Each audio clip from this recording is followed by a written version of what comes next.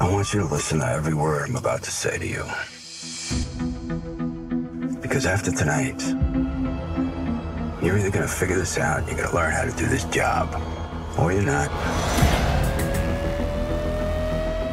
There is the world inside this squad car, and there's everything else outside of it.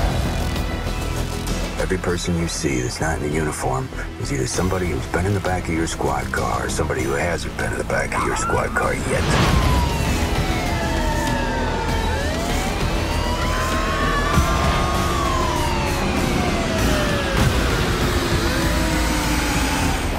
Step out of the car now!